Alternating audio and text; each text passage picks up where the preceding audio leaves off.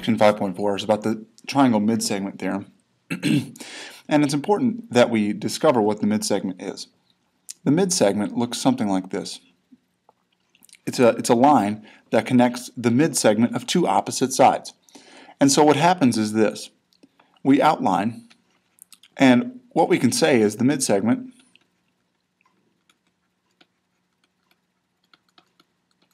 of each side, or each pair of sides, is going to result in us having some midsegments. It looks like this. It's the midsegment because it hits a point midway between the two endpoints. So x would be the midpoint of QP. And so when I go around, this is the relationship that exists on all three sides. Okay, so my midsegments would be segment XY, segment YZ, and segment XZ. What we call that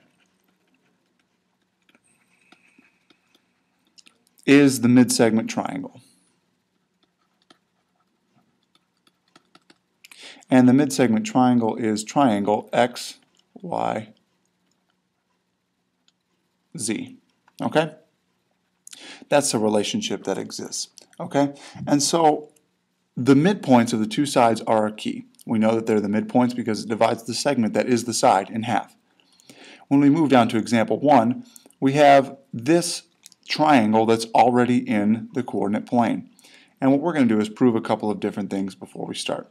First, we need to find the coordinates K and L. Well, we know that this side should be congruent to this side, and this side should be congruent to this side. So we're going to find the midpoint of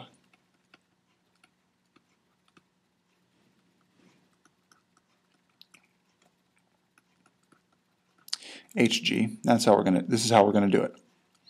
We're going to say that this is equal to negative 5 plus negative 7 over 2, comma 6 plus negative 2 over 2, which is going to give us negative 12 over 2, comma 4 over 2,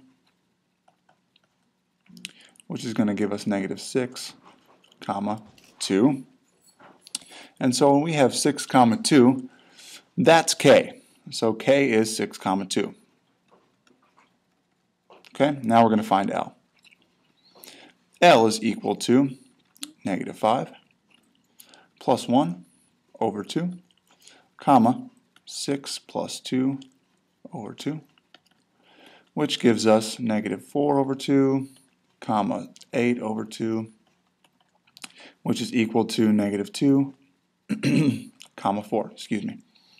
So now that we have our two midpoints, what we need to do is we are trying to find whether it's parallel and that is half of GJ. So parallel, we're going to check check parallel. Okay, so parallel mean means same slopes.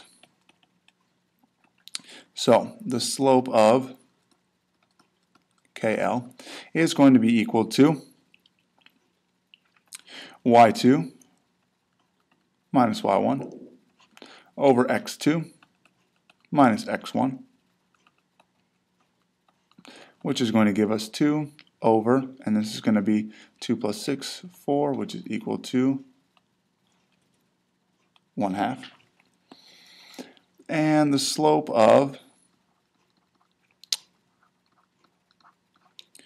gj is going to be equal to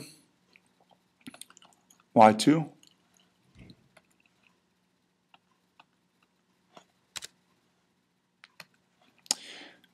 minus y1 over x2 minus x1.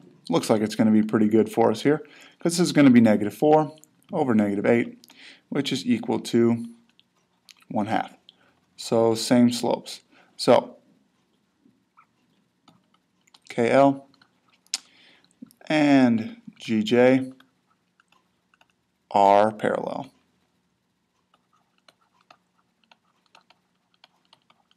Okay? So, they are parallel, which means this one is good to go. Now, let's check to see the length of these two things. And so, we're going to find the length. I'm going to scroll down just a bit to give myself a little bit more theorem, a little bit more room, sorry. So, KL is going to be equal to, now we need to use distance formula.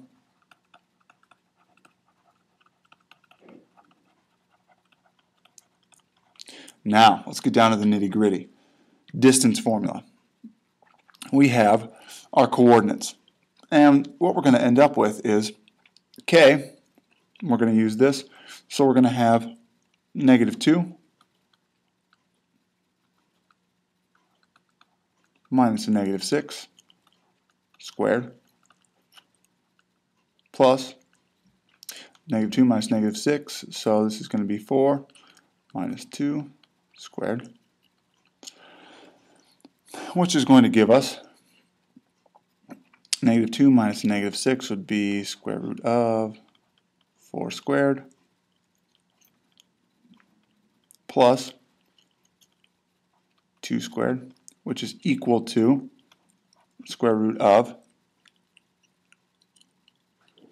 mm, let's see, we got 16 plus 4, 20 which is really equal to square root of 4 times square root of 5, which we know is equal to 2 square root of 5. That's the length of KL.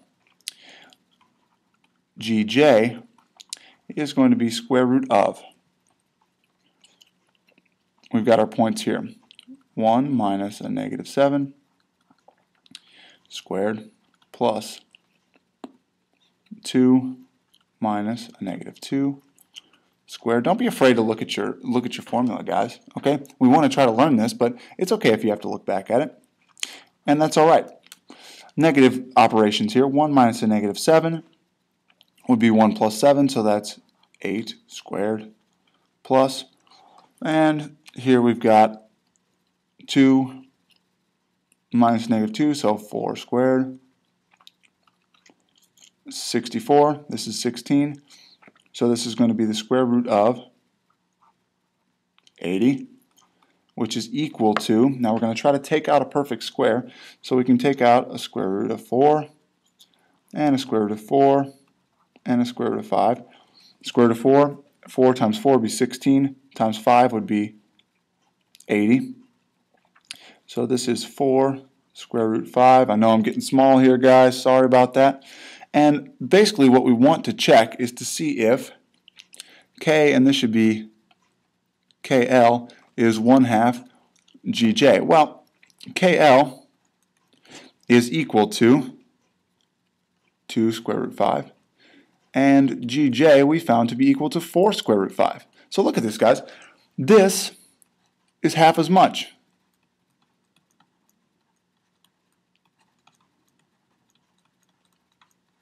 Okay, what did we just do there? We proved that these lines were parallel and that KL was half as long as GJ. That's our theorem. That's our midsegment theorem. The midsegment of a triangle is parallel to a side of the triangle and its length is half the length of that side. So DE is parallel to AC. And 1 half DE equals AC. Okay, that's what this theorem says. And that's that's what we're doing here. So when I move down to these examples, they're going to go really quickly because I've already got the measurements in. And you can pause and see this. But if I've got um, UW, I want to find out what the length of this segment here is. All I have to do is look across. Well, if if ST is 7.4 and UW is a midsegment, then that means that UW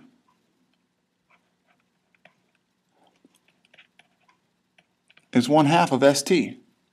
We want to do that calculation, have 1 half times 7.4 is equal to 3.7. Done. Okay? Now, the other thing that we need to remember here is this. These are parallel, which means all the rules of parallel lines apply. I've got alternate interior angles, alternate exterior angles, corresponding angles, alternate exterior angles, corresponding or same side interior angles, okay? And so when I have a 41 degree angle here, okay, that means that this is also parallel to this, which makes this a transversal, which makes these two alternate interior angles. So SVU is equal to 41. Because it is an alternate interior angle. Okay? Now, moving on to the next example.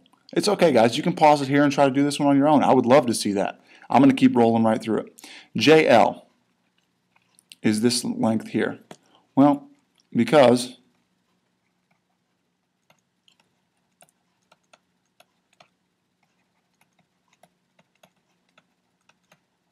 because MN is a midsegment, we know that because it's marked here. Notice these lines. So it's a midsegment. We know that JL is equal to 2 times MN. So JL equals 2 times 36 equals 72. Same thing for PM. I've got two M's here. This